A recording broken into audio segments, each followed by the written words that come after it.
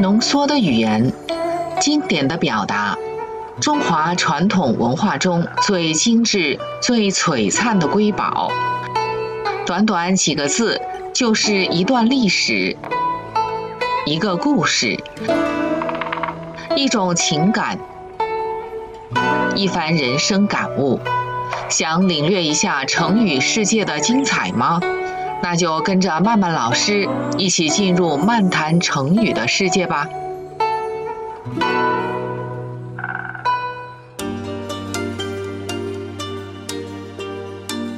大家好，我是曼曼老师，又和大家见面了。今天要和大家谈的是与三皇五帝有关的成语“水火不容”。相传。在上古时期，世上一片洪荒，森林密布，湖泽遍野，人类靠打猎为生，只能茹毛饮血，生食禽类，经常疾病缠身。当时昆仑山上的光明宫中，住着一位火神，名叫祝融。他善良慈祥，极富同情心，看到人们生吃禽兽，就传下火种。教给人们用火的方法，从此人们就用从光明宫中取来的火种，烤制猎物，断生熟食，不仅品尝到美味，也减少了肠道疾病。因此，百姓都非常崇拜祝融，常祭祀供奉火神。见此情景，住在东海的水神共工心里不平衡了。他说：“世人着实可恶。”水火均为生活必需之物，为何只敬火神却不敬我水神呢？两神之间为此发生了争执，最后水神共工怒不可遏，以致大打出手。他率领水族攻上光明宫，把常年不息的神火给弄灭了，大地顷刻间变得一片漆黑。这一下可把火神祝融给惹怒了。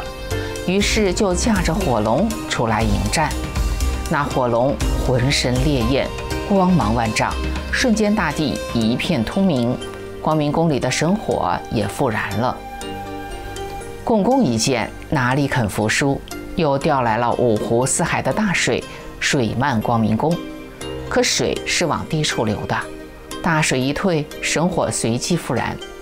祝融骑着烈焰腾腾的火龙直扑共工，把共工烧得焦头烂额，退回大海。紧接着，火龙直冲大海，共工不敌，赶紧逃往天边。回头看时，祝融又追了上来。愤怒之极的共工便一头撞向了天边的不周山。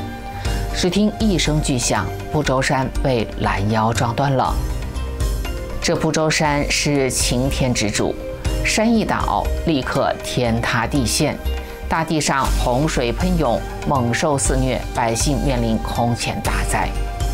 正是因为水神共工与火神祝融之间的这段战争，留给我们的不仅是一段上古时期有关大洪水的历史，也给我们带来了“水火不容”这个成语。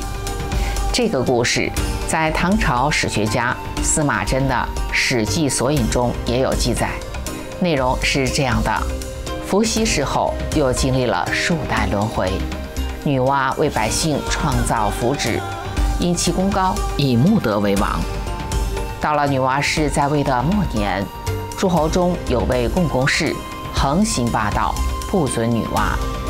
女娲就派祝融平定共工之乱。共工被祝融击败后大怒，一头撞向了天地之柱不周山。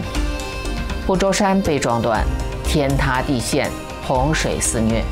于是女娲娘娘炼五色石以补天，斩神鳖足以称四极，聚炉灰以止洪水，杀猛兽以除逆气，终于使万灵得以安居。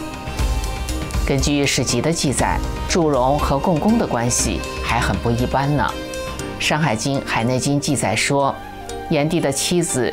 赤水氏的女儿听玉生下了炎居，炎居生了结病，结病生了细气，细气生了祝融，祝融居住在江水一带，生了共工。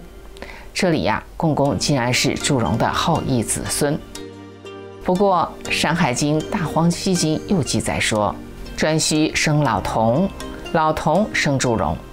这里呢，祝融又是皇帝的后裔了。对此，史学家认为，上古时期黄帝和炎帝本是同根同祖，所以祝融时而是炎帝之孙，时而就是黄帝的后代，也就不足为奇了。史记中，祝融还曾作为天帝的副手出现过。根据《山海经·海内经》的记载，上古时期曾洪水滔天，鲧盗窃了天帝的宝物息壤来堵塞洪水，触犯天条。息壤是一种会自动生长的土，天帝十分震怒，就派祝融在雨郊杀死了鲧。鲧被杀后，腹中生出了鱼。之后，天帝又任命禹治理大水，安定九州。大禹治水的故事在《史记》里也有记载，不过呢，通神的部分却减少了很多。其实，祝融战公公的故事，早期的版本是先秦史籍《淮南子·天训》中的记载。与共工作战的不是祝融，而是颛顼，也就是帝喾。共工与颛顼帝争霸天地之位失败后，怒撞不周山。在史记中。有关共工的所有传说和记载，都是与水有关的。根据《管子·魁度》的记载，共工执掌天下之时，十分之七的地域是水，十分之三的地域是陆地。可见共工一族善于用水。根据《淮南子·本经训》的记载，共工是上古历史中的水神，也是洪水之神，往往与大洪水联系在一起。他性情凶狠，处事蛮横，常在心血来潮时施展神力，呼风唤雨，用洪水伤害天下的百姓，专与华夏子民作对。因此，共工常以恶神的身份出现。在后世的传说中，祝融与共工的战斗，除了表现古人对水火不容的认识外，也体现了古人对善神与恶神的认知。在人类的文明史上，火的使用意义非凡，让人类告别了茹毛饮血的时代。不仅可以用火驱赶野兽，还能照明取暖。正因如此，古人也有把祝融列为三皇之一的说法，与伏羲、神农齐名。不过，这种说法流传并不广泛。史籍中对钻木取火的记载，更多的还是燧人氏。而祝融更多的则是以火神的形象出现。水和火两种性质相反的物质，从根本上具有不相容性。后来人们就用“水火不容”这个成语来比喻事物的对立、绝不相容的特性了。例如汉朝的王弗在《潜夫论·圣威》中说：“且夫邪之与正，有水与火。”不同源不得并盛，意思是说，正与邪、善与恶，就好像水与火一样，性质根本不同，不可能共存。这就是“水火不容”这个成语的内涵和典故了。好了，今天的漫谈成语节目就到这了。如果您喜欢这个节目，请关注我们的节目，并推荐给您的亲朋好友，帮助我们传播。传统文化，谢谢您的收看，咱们下次再会。